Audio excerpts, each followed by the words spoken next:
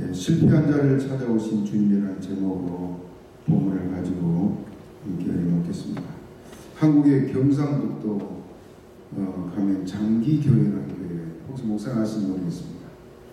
그것에 전에 김영수 목사님이 심호하셨는데 한 번에 새벽 기도를 마치고 집에 와보니까 집 앞에 고추장 단지 또 쇠고기 그 다음에 마늘을 수고. 그 교회 목회자들 집에는 성도들이 어, 목사님이 알게 가져온 분도 있지만 그지 일 없이 갖다 놓고 간 분들이 많지 않습니까? 그 목사님이 또 어느 여성도가 어, 그 목사님을 대 섬기기 위해서 이렇게 숨은 봉사를 했나 보다 생각하고 가족과 함께 하나님께 감사 기도를 하고 고추장 단지를 갖다가 또 어, 그 쇠고기를 다 먹고 어, 식구가 자녀가 아홉 명인데 옛날엔 자녀가 많았습니다. 아홉 명인데 그 대식구가 뭐 먹고 나니까 별로 그게 없잖아요. 그리고 이제 며칠 지나서 그 교회 여집사 한 분이 면장 부인을 면소리가 교회 가 있습니다. 면장 부인을 데리고 목사님 사택을 온 거예요. 와가지고는 사모님 면장 사모님 부인고 사모님 이거 고추장 된장 사모님 그 맞지요? 맞다고. 그에 보니까 아 어느 숨은 성도가 그 여성부가 갖다 놓은 게 아니고 그 어떻게 된 건지 집 앞에 갖다 놓은 걸 목사님이 이제 그 먹고 나니까 갑자기 그것이 목사님에게는 이제 도적으로 물리게 된 겁니다. 목사님이 도적질해 가지고 한 것처럼 그래서 이 소문이 갑자기 온 면소리에 퍼지게 되니까 목사님이 도둑이라고 난리가 났습니다. 교회를 다니는 믿는 성도까지도 불신자 할것 없이 하니까 목사님 강단에 서 설교할 수가 있어요. 그래서 고민하다가 아홉 식구를 아홉, 명의 자녀 열 열한 명의 식구를 건드리고 어디 갈 것도 없는데도 교회를 떠날 수밖에 없는 그런 상황이 됐습니다. 얼마나 목사님이 슬프고 아팠겠어요. 그래 말도 못하고 사람들은 다 손가락질하고 어느 게 장기교회 목사는 도둑이라냐고 곳곳에서 소리가 들려오니까 너무너무 기도 막히고 그 울면서 이제 자녀들을 데리고 이삿짐을 싸고 이사를 떠나는 날 아, 어떤 그 여자가 달려오더니 이거 내가 갖다 놨어요. 그런 거예요. 그걸 보니까 그 여자가 누구냐면 면에서 온 면이 다 아는 정신 나간 여자예요. 미친 여자예요. 거기서는 갑자기 정신이 온전해져 가지고는 내가 놨다고 하면서 목사님 죄송하다고. 그, 그래서 목사님이 누명을 벗고 면장이 찾아와서 또 면회 그, 그, 저, 그, 그 목사님 그동안 힘들게 했던 사람들이 다 찾아오고 동네 이장이 찾아오고 죄송하다. 그리고 용서를 빌고는 이분들이 용서만 빌는 게 아니라 아 갑자기 면장이 교회를 나오니까 다른 사람이 다 교회를 나왔어요. 그래서 그 길로 교회를 건축한 일이 경, 경상도 장기교회라는 교회가 그런 역사가 있었습니다. 우리가 세상을 살다 보면 여러 가지 어려움을 겪을 때가 참 많습니다. 더구나 여러분이 이국 땅에 와서 살아가면서 종종 어려운, 어려운 일을 겪을 때도 있고 신앙의 문제로 갈등할 때도 있으리라 생각합니다. 오늘 본문에서 예수님께서 그 어려움을 당한 우리들을 이루하기 위해서 본문의 말씀을 기록한 줄 믿습니다. 사람은 누구나 허물이 많고 실수가 많은 법입니다. 저도 마찬가지입니다. 그래서 야고보서 3장 2절에도 우리가 다 실수가 많으니 라고 말하고 있습니다. 사람은 누구나 다 실수가 있습니다. 그래서 이 실수가 많은 우리들 주님이 우리를 어떻게 하시는가 사도 베드로를 통해서 말씀하시는데 베드로 또한 부족한 것이 많고 허물도 많고 또 강한 것 같지만은 심약한 그런 베드로의 모습을 볼 수가 있습니다. 다 버릴지라도 나는 주님 옥에 가면 옥에 갇히고 주님이 죽는다는 나는 같이 죽을 겁니다 하는 베드로 아니에요. 그런 베드로가 어린 계집종 앞에서 예수를 부인하고 세 번씩이나 정조하면서 부인한 일을 잘 알고 있습니다. 예수님은 말씀하신 대로 십자가의 죽음 후에 다시 부활하셔서 막달라 마리아에게 먼저 보이시고 엠마로 가는 두 제자에게 나타나시고 근데 정작 베드로에게 나타났던 기록은 없습니다. 그래서 전에 같으면은 항상 베드로를 먼저 부르지 않습니까? 변호사는 올라가도 베드로를 먼저 앞세우고 그런데 베드로가 어, 이 지금 자기가 예수를 부인한 사건이 아니라면 예수님 부활해서 맨 먼저 얼굴을 보여줘야 게 베드로 자신이라고 생각해야 되는데 베드로에게 아니라 막달라 마리아에게 보이시고 이런 모습들을 봤을 때 베드로의 실망과 또 죄책감이 얼마나 컸겠습니까? 그래서 먼저 우리가 첫 번째로 생각해 볼 것은 베드로는 이 상황에서 자포자기한 상황에 이르게 됩니다. 모든 것을 포기하고 오늘 본문에 보면 보면은 나는 물고기 잡으러 가노라. 이 말 속에는 베드로의 모든 절망과 실망과 낙심, 자포자기한 마음이 거기에 들어 있습니다. 예수님을 따르면서 그가 꿈과 이상을 가지고 어, 3년 동안 열심히 따르지만 이것들을 다 포기해야만 되는 상황입니다. 또 베드로는 자신이 어떤 존재라는 것을 이때 깨닫게 됩니다. 예수님을 배반한 자신은 더 이상 주님의 낯을 볼 자격이 없는 죄인이라는 것은 두말할 것 없지요. 당시에 보는 때 밖에 나가서 심히 통곡하고 울었다 그랬잖아요. 그런 베드로가 이 자기를 철저하게 돌아보게 되는데 자기는 배움이 없는 무식한 자, 신분이 천한 어부요, 부활의 주님의 영광 앞에 설 수 없는 죄인이라는 것을 깨닫습니다. 예수님이 처음 베드로에게 찾아와서 나를 따르라 베드로가 뭐라 그랬습니까? 주여 나를 떠나서 나는 뭐라고요? 죄인이로소이다. 처음 예수님을 만나서 나를 따르라 할때 나는 죄인입니다 하고 따를 자격이 없다고 말한 거가 이제는 정말로 예수님을 세 번씩이나 부인하고 나서는 자기가 죄인이라는 것을 철저히 깨닫습니다. 그래서 더 이상 사도라고 말할 수도 없고 더 이상 예수님의 제자가 될 자격이 없는 걸 깨닫기 때문에 나는 물고기 잡으러 갑니다. 그렇게 말하고 있습니다. 그래서 베드로를 따라서 다른 제자들과 함께 가서 그날 밤에 아무것도 잡지 못하였다. 그리에 성경 기록하고 있습니다. 베드로와 제자들은 전에 익숙했던 어부의 경험을 대상해서 밤새도록 밤새도록 예를 썼지만 한 마리도 못 잡았어요. 뭘 말합니까? 주님 따라서는 육신의 사업도 실패할 수밖에 없다.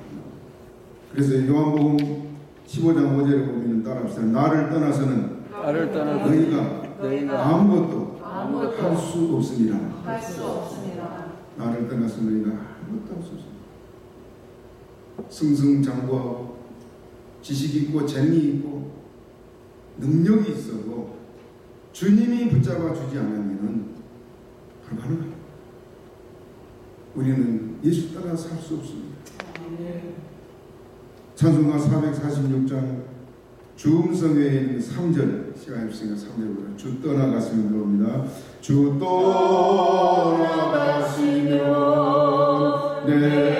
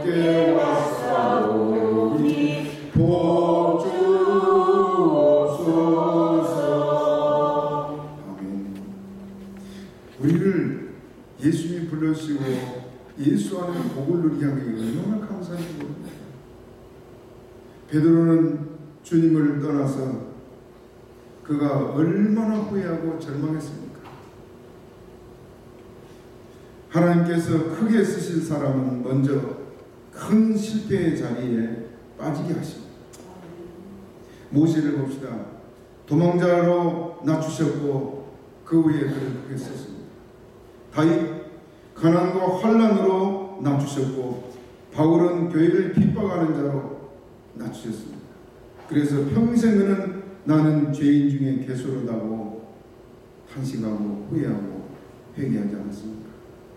그런 그것이 있었기 때문에 바울 사도도 교만하지 않고 마지막 순교할 때까지 겸손했던 걸 볼 수 있습니다.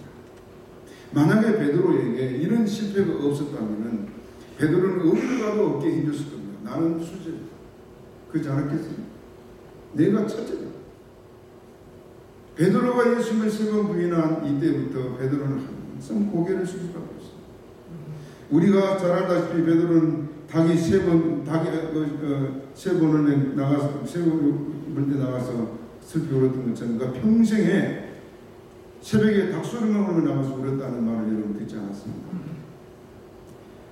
그러나 하나님은 그들을 낮추셔서 크게 쓰셨습니다.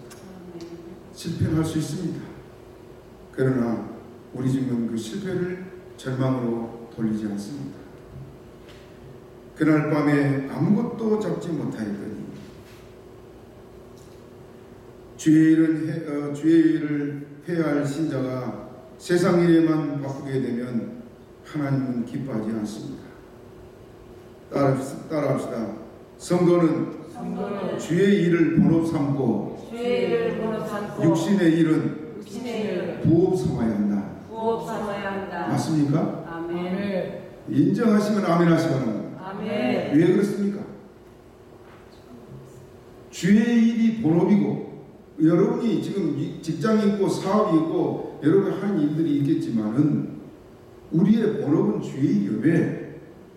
이 땅에서 주님께서 우리를 불러갈 때는 여러분 예수 수강을 가지고 가요? 못 가지고 가요? 못 가져. 가지고 가요. 천국에서 우리가 받을 건 영원한 것입니다. 그럼 영원한 것이 진짜입니까? 버리고 갈 것이 진짜입니까? 영원한 것이. 하늘을 바라보면 우리의 본업은 주일입니다. 아멘. 오늘 여러분이 주일날 이렇게 와서 예배드린 걸 너무 고맙습니다. 저는 이번에 좀 미국을 와가지고는 성도들을 돌아오고 교회를 돌아서 자꾸 눈물이 나요. 이러는 가운데서도 여러분이 주님을 성도 여러분 모이고 예배당도 온전치 온전히 그렇고 교회 도움도 없는데도 이렇게 여러분들이 주님 앞에 하나 게 얼마나 고마운지 모릅니다. 성도가 재물을 얻는 것도 하나님의 은혜라야 됩니다. 신명기 8장 18절에 보면 따라합시다. 여호와를 기억하라. 여호와를 기억하라. 그가 내게 그가 내게 재물 얻을 능을 주셨습니다. 주셨습니다. 다시 따라합니다. 여호와를 기억하라. 여호와를 그가 내게 그가 내게 재물 얻을 능을 주셨습니다. 주셨습니다. 눈을 위로 바라보고 주의 일을 생각하며 살기를 바랍니다. 아멘. 재물을 주신 거 하나님. 아무리 내가 애써도 하나님이 불어버리면 하루아침이잖아요. 하나님이 주시면요. 안 될 것 같은데도 잘 돼갑니다. 오늘 베드로는 이렇게 실패자로 철저하게 자기가 낮아지고 나는 물고기 잡으러 가느라고 가서 밤새도록 한 마리도 못 잡았습니다. 그의 실망과 낙심과 절망이 얼마나 컸겠습니까? 이것도 안 되는 해도 이걸 해도 안 되고 저걸 해도 안 되고 뭐를 해도 안 되는 그런 상황에 빠져 있는 사람이라면 뭘 자신 있겠습니까? 그런 베드로 그런 베드로에게 예수님이 찾아오셨습니다. 두 번째는 따라서 실패한 자를 찾아오신 주님. 우리 주님께서 그런 베드로를 포기하지 않고 찾아오셔가지고 바닷가에 서서 베드로와 제자들을 지켜보고 계셨습니다. 4절 여러분 같이 읽읍시다. 4절 시작 날이 새어갈 때에 주께, 예수께서 바닷가에 서셨으나 제자들이 예수신 줄을 알지 못하는지 제자들은 지금 한 마리도 못 잡고 실망과 낙심과 피곤함과 이런 절망의 상태에 있는데 예수님은 바닷가에 그들을 지금 지켜보고 계십니다. 제자들은 몰랐다 그랬지. 슬픈 빛을 띠고 옛마을로 내려가는 두 제자야. 그들도 절망해서 내려갔습니다. 이제 끝났다. 더 이상 어떤 기회도 희망도 가질 수 없는 것이 옛마을로 내려가는 제자들의 모습인데 거기 누가 했습니까? 누가 함께 했습니까? 예수. 그들은 지금 자기들 곁에 자기들과 대화하고 가는 그분이 예수님이라는 걸 몰랐지요. 밤새도록 예수고 고기 한 마리도 잡지 못한 제자들 그 제자를 예수님은 지금 지켜보고 계셨어요. 지금도 그렇습니다. 우리가 모르는 사이, 우리가 괴로움 당한 사이, 우리가 힘들어할 때 주님 우리 지켜보고 있습니다. 우리 생각 같으면 아 그 힘들고 어려울 때는 도와서 도와주고 예수님 그래 얼마나 좋아요. 그런데 아, 지켜보고 있습니다.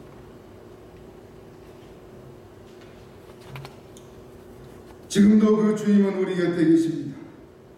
우리가 실패하거나 어려움을 겪고 있는 순간 혹 죄를 짓는 우리 주님은 우리 곁에 계십니다. 그게 믿음입니다. 그래 예수님이 마태복음 28장 20절에 보면은 따라합시다. 볼지어다 내가 세상 끝날까지 너희와 항상 함께 있으리라. 나는 이 주님을 믿습니다. 저는 어려서부터 저도 구남매 형제 중에 다섯째예요. 가운데 있어 있어가지고 샌드위치가 됐습니다. 부모에게 어떤 것도 못 받았어요. 학교 입학만 시켜놨지 졸업할 때까지 노트 한 권 안 사줬어요. 제가 벌러 다녀야 됐어요. 캄캄한 인생길을 저도 왔습니다. 그러나 제가 감사한 것은 어려서 주님이 항상 내 곁에 있었어요. 그래 내가 늘내 어, 내 마음에 어, 어, 고백하기를 내가 그림자는 뛰어넘을 수 있을지라도 주님과는 떨어질 수도 없구나. 어떤 위기를 만날 때 주님께서 즉시 나를 붙잡아 줄 때도 여러 있어요. 현저. 그이 말씀을 믿습니다. 저는. 여러분은 홀로 인생길을 살아온 것 같지만은 우리 주님이 여러분 곁에 있어요. 힘들게 지금 여러분이 제자들처럼 아무것도 되는 것도 없고 지치고 힘들어서 쓰러질 지경이 돼서인데도 주님 알고 있고 보고 있고 지키고 있습니다. 그 주님을 바라보시길 바랍니다. 찬송 어, 찬양 제가 우리 같이 한번 불러봅시다. 주님여 이손꼭 잡고 가서 아시죠?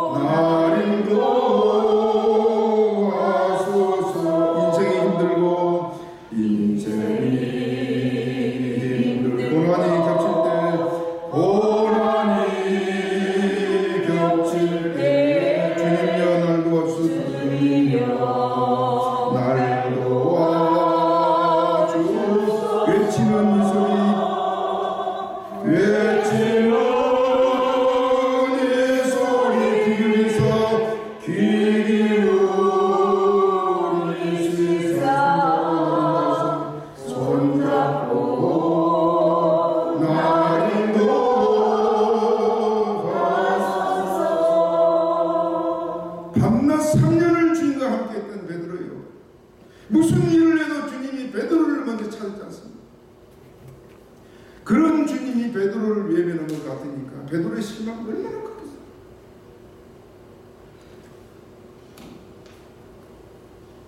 그러나 주님 그를 포기하지 않았습니다.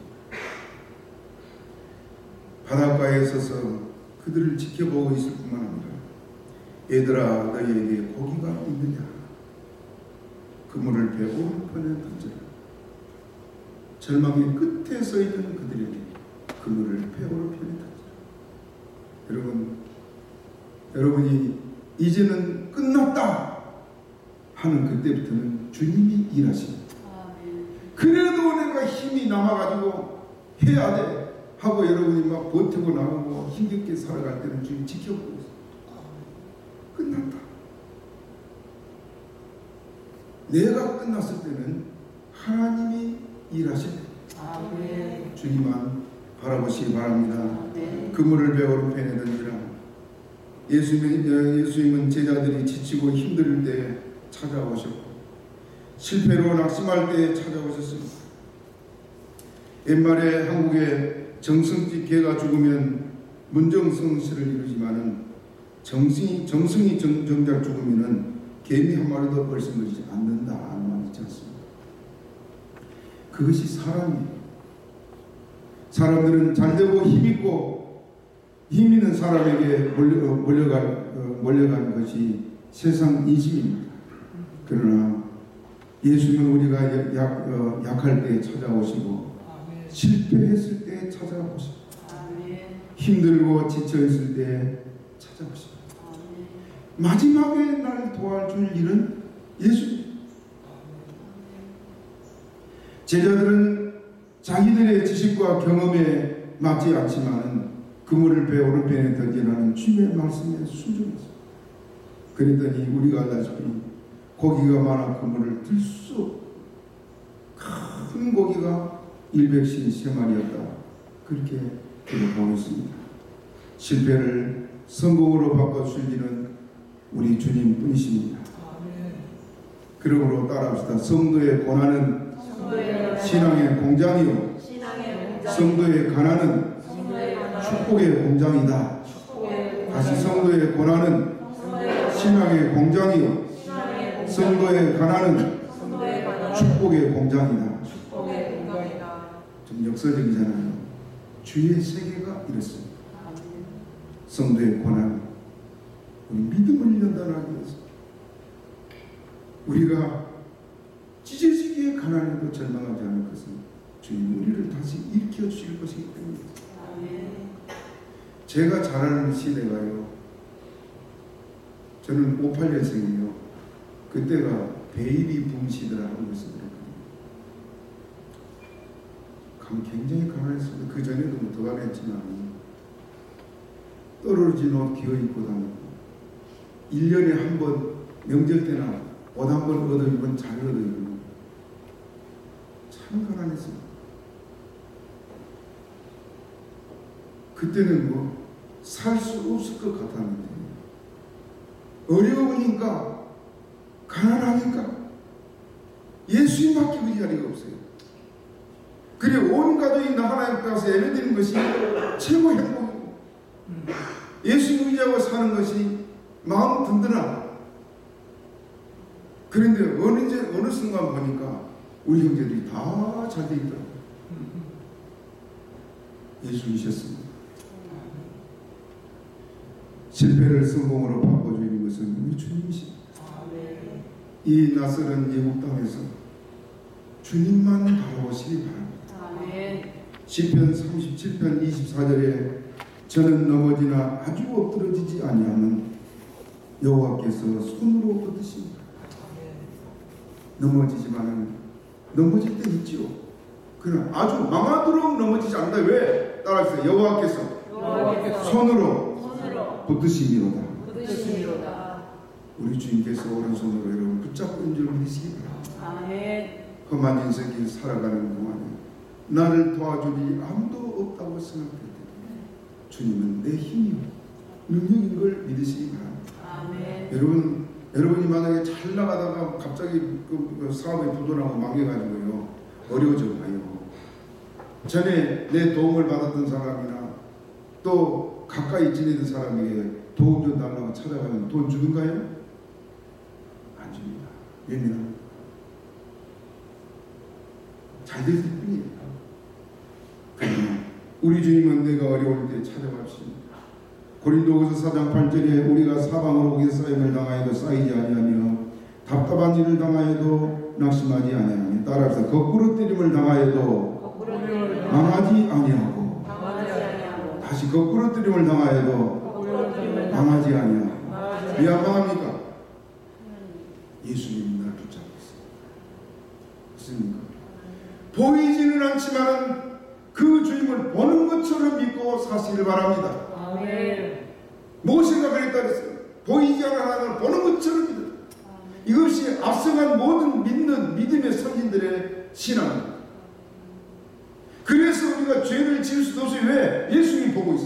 아멘. 그래서 우리가 신망에 낙심할 수 없어요. 왜? 주님이 날 지키고 붙잡고 있습니다. 아멘. 아까 나이가 할길 나가도 불렀죠. 같이 불렀지만 나이가 할길 나가도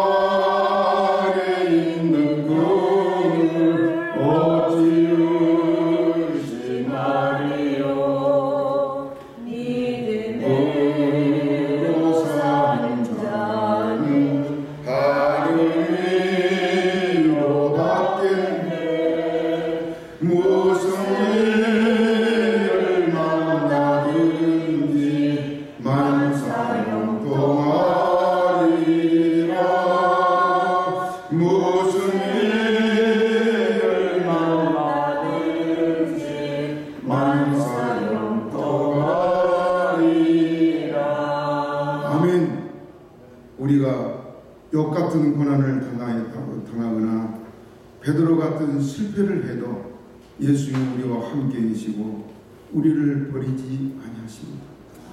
아멘. 그 주님이 너무 좋습니다. 아멘. 그러므로 주의 말씀에 순종하고 주의 일하다가 어려울 때 기도하시기를 바랍니다. 아멘. 세 번째, 배고프고 지친 제자들을 위해서 조반을 지어 주신 주님의 모습을 볼 수 있습니다. 와서 조반을 먹으라. 예수님이 지치고 배고픈 제자들을 위해서 조반을 지어가지고 그들을 기다리고 계시다는 거예요. 여러분 한번 생각해 봅시다. 제자들이 그 조반 먹었죠? 기쁘게 먹었겠습니까? 배고파서 막 빨리 먹었겠습니까? 눈물로 먹겠습니까? 눈물로. 눈물로 먹었지. 주님이 주신 음식을 먹으면서도 버려진 것 같은 자기들을 찾아오신 주. 그 주님의 따뜻한 손길로 조반을 지어주신 그 주님이 주신 음식을 먹으면서 눈물만 우리 주님 우리를 이렇게 위하신 걸 보여주고 있습니다. 이는 우리 위해서 미리 예비한 양식이 있다는 말씀입니다. 우리 영혼이 세상 근심과 재앙의 고통에 빠져 허덕일 때 예수님께서는 미리 예비한 양식들을 우리에게 준비하고 계신 줄 믿으시기 바랍니다. 그래서 우리가 찬송가 464장 고난의 영혼 편이실 복합을 한번 1절 3절 부릅시다. 464장 고난의 영혼 편이실 복합 풍랑이로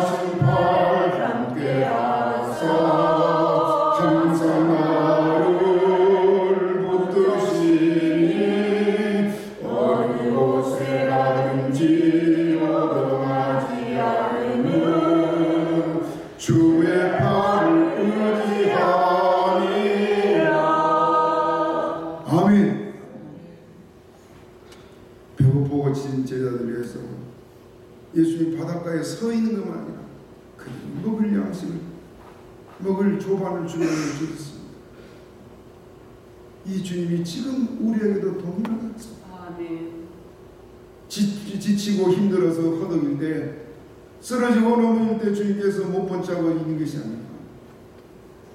우리를 위해서 이렇게 모든 것을 준비하고 계신 걸 믿으시기를 바랍니다. 아멘. 네 번째로는 주님께서 다시 사명을 맡기고 있습니다. 15절 요한의 아들 시모나 내가 이 사람들보다 나를 더 사랑하느냐 사명을 다시 맡기기 위해서 묻습니다. 그리 이제 더 이상 주님을 따를 자격이 없고 업으로 살아야 될 것을 생각하고 옛날 자리로 왔지만 주님은 그에게 이 말씀 요한의 아들 시몬 네가 이 사람들보다 나를 더 사랑한다. 자 이거 우리가 몇 가지 생각해 보죠. 첫째는 이 사람들보다 이 말은 이 사람들이 나를 사랑하는 것보다 너가 더 사랑하느냐 이 말. 그럼 이 사람들이 누구예요? 제자들. 예수님께는 모든 걸 버리고 주님을 따라간 제자들인데도 예수님이 교회를 베드로에게 맡기기 위해서 네가 이 사람들이 나를 사랑한다 나를 더 사랑하냐? 여러분에게 만약에 주의 은혜를 주님께서 주시려고 할 때는 예림교회에 있는 모든 성도들보다 나를 더 사랑하느냐? 묻습니다. 목사님이 나를 사랑하고 네가 너, 나를 더 사랑하느냐? 물어요. 저도 그런 경험했습니다. 내가 정말 예수님밖에 모르고 예수님만 생각하면 가슴이 벌렁벌렁하고 예수님만 생각하면 눈물이 나. 그럴 때 주신 은혜, 그럴 때 주신 복이 넘쳐납니다. 아멘. 그런 사람을 들어서 주님 쓰기를 원하십니다. 베드로에게 묻는 거 따라합시다. 네가 네가 이 사람들이 이 사람 나를 사랑을 보다 나를 사랑하는 너는 너는 나를 더 사랑하느냐? 나를 더 사랑하느냐? 개인 각 개인에게 이렇게 묻습니다. 오늘 예수 여러분이 묻나 여러분 뭐라고 대답하겠습니까? 베드로처럼 대답하겠습니까? 따라서 주여 주여 그러하이다. 내가 주를 사랑하는 줄 내가 주를 주께서 하시나이다. 주께서 하시는 진심이지 않습니까? 그랬기 때문에 베드로를 들어서 교회를 맡겼습니다. 교회의 가장 중요한 자리에 하나님이 일꾼으로 세우려고 할 때 이 사람을 확인하십니다.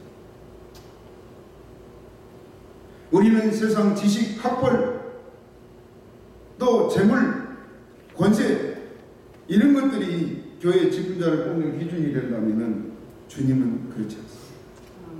배움이 전혀 없어도 가진 것이 없어도 능력이 없어도 예수님 사랑한 사람 들어서 그에게 능력 주시고 모든 걸 주셔서 일하십니다. 아멘. 여러분들이 오늘 우리 주님의 질문에 이렇게 대답하시길 바랍니다. 아멘. 이 사람들이 나를 사랑하면 너는 나를 더 사랑한다.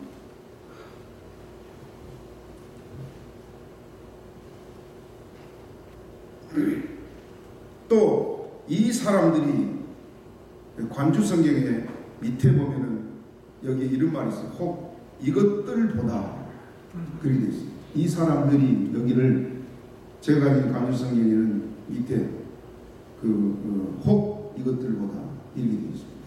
무슨 말이냐? 이 사람들보다 네가 나를 사랑하느냐 질문했고 그 다음에 또 한 가지는 지금 고기 몇 마리 잡았다고요?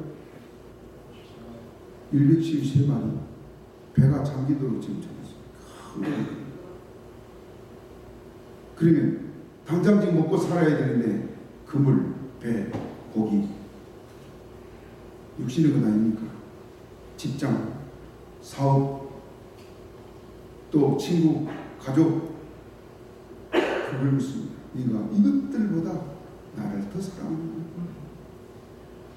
여러분 어떻습니까? 직장을 더 사랑합니까? 친구나 가족을 더 사랑합니까? 자식을 더 사랑합니까? 여러분도 베드로처럼 주여 그래야 돼 내가 주님을 더 사랑합니다. 그 그, 고- 그 고백 되길 바랍니다. 아멘. 오늘 주님 그 사람 찾고 있습니다. 아멘. 그 사람에게 모든 걸 맡기고 싶어 하십니다. 아멘. 오늘 이렇게 주님께서 베드로를 불러서 이 말씀을 하신 것 들은 곧 우리에게도 하신 말씀. 또 하나 시몬 베드로에게 요한의 아들 시몬아 말하고 있습니다. 시몬아라고 부른 것이 지금 베드로는 반석이잖아요. 베드로야 개바야 그러지 않고 시몬아라고 말한 이유가 있습니다. 베드로의 영적 상태가 예수 믿기 전 시몬의 상태로 떨어져 있었기 때문에 그렇습니다. 우리는 이런 사람을 보면 쉽게 비판하거나 무시해버립니다. 예수님은 비록 지금 그가 교회를 세울 반석이 될 것을 여전히 기대하고 있다는 말씀입니다. 베드로는 지금 실패자고 예수님을 부인하고 더 이상 예수 앞에 낯선 서설 수 없는 그런 어, 자격이 없는 사람이로 우리는 보지만은 예수는 그렇지 않다. 예수는 모든 것을 아십니다. 그렇기 때문에 주님께서 우리를 부르시고 후회하지 않습니다. 따라서 예수 그리스도는 어제나 오늘이나 영원토록 동일하십니다. 동일하십니다. 내가 잘 믿을 때, 내가 열심히 될 때, 내가 충성할 때 주님이 나를 가까이 했을 뿐만 아니라 베드로처럼 실패했을 때, 범죄했을 때도 주님은 우리를 멀리하지 않습니다. 아멘. 다시 따라합니다. 예수 그리스도는 어제나 오늘이나 영원토록 영원토록 동일하십니다. 동일하십니다. 저는 이 말씀에 큰 위로를 받습니다. 저는 목사지만 저도 실패할 때가 있고 실수할 때가 있고 낙심될 때가 있습니다. 그때마다 이 말씀은 힘을. 주님은 변치 않다. 사람은 다 예민하고 박대해도 주님은 변치 않다. 아멘. 믿습니까? 아멘. 마지막까지 내가 의지하고 따라가기는 예수일 뿐입니다.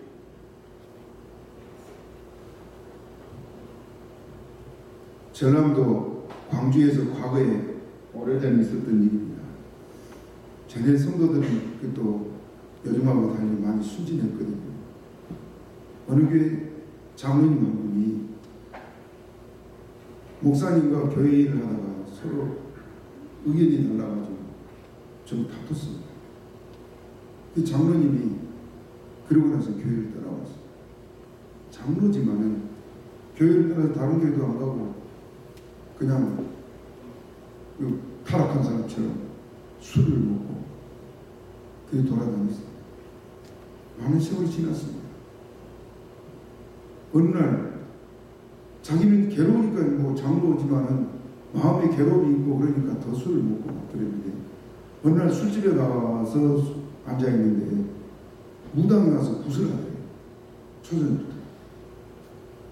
그래 다 들리고 부다는 소리를 막 짐을 치고 굿을 하는데 그 소리를 장로님 듣고 있는데 갑자기 무당이 소리를 보럭지면서 여기 예수 믿는 사람이 있어! 이러더라고요. 그러니까 술 먹는 사람이 어떤 말을 하겠습니까? 전부 다 껄껄 웃으면서 여기 어디 예수 믿는 사람이 있냐고 그래서 묻는데 그 말이 장로님의 가슴에 확 박힙니다. 자기는 장로예요. 비록 지금 타락한 상태이지만은 자기는 예수를 믿는 사람. 그래서 그 길로 뛰어났습니다. 베드로가 닭소리를 듣고 나가서 통곡하며 울었던 것처럼 이 장로가 그렇게 얘기했어요. 그리고 교회를 들어갔어요. 그 감정을 해서 모두가 은혜를 받았어요. 내가 지금 예수 믿기 전 시몬같이 내가 영적으로 타락하고 떨어지고 나약하고 절망의 상태에 있어도 우리 주님은 그런 우리를 찾아와서 따라합시다. 요한 요한의 아들 시몬아, 요한의 아들 시몬아 내가 나를 사랑하느냐? 내가 나를 사랑하느냐 이렇게 묻습니다. 나는 변치 않았다. 그 말입니다. 지금 우리 자신의 영적 상태가 혹 시몬 같다고 생각하면 방심하지 말기를 바랍니다. 예수님을 바라보시 바랍니다. 또 성도 중에 시몬 같은 사람이 있다면 예수님의 마음을 품고 예수님의 마음으로 품어주고 그들을 이끌어 주시는 교회가 되기를 바랍니다. 오늘 이런 베드로에게 다시 사명을 줬습니다. 사랑한다는 고백을 받고 내 어린 양을 먹이라. 내 어린 양을 먹이라. 처음 맡겼던 사명을 변치 않았다는 말씀 아닙니까? 주님은 우리를 사랑함이 오늘도 동일한 일 믿으시기 바랍니다. 아멘. 이런 예수님을 따라갔던 베드로 어떻게 따랐겠습니까? 감사와 감격이 넘쳐서 따랐을 것이고 평생에서는 다시는 주님 배반하지 않고 내가 목숨 바쳐 주를 위해 살겠다는 각오와 결심으로 따랐을 것입니다. 실패했기 때문에 그런 굳은 결심으로 거꾸로 십자가 못 박에 죽기까지 승리하는 삶을 살 수가 있었습니다. 아멘. 실패로 끝나는 것이 아닙니다. 실패는 오히려 우리를 더 경고케 하고 주님의 은혜를 더 입게 하는 일이 많습니다. 살아가다 여러분 앞으로 어떤 일을 만나도 낙심하지 말고 주님 내 곁에 계신 주님 그 주님 바라보고 승리하는 삶을 살기를 축복합니다.